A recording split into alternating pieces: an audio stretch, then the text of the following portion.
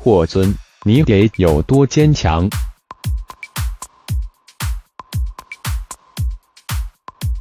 大家知道，二十七岁的霍尊一曲《卷珠帘》，让自己名声大噪，火爆势头不输老爸。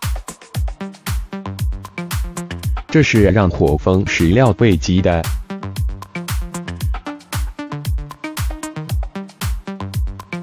而懂事的霍尊又非常理解和孝敬自己的父亲，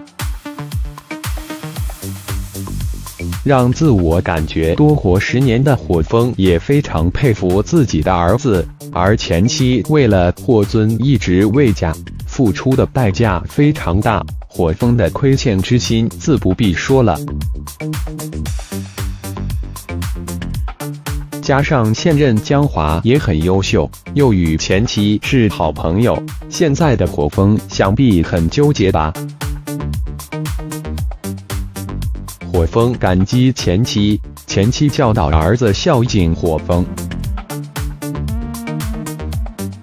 江华与仲小平又是好朋友。将日子过成这样，除了唱火大花轿的火风外，真的是没 C 位了。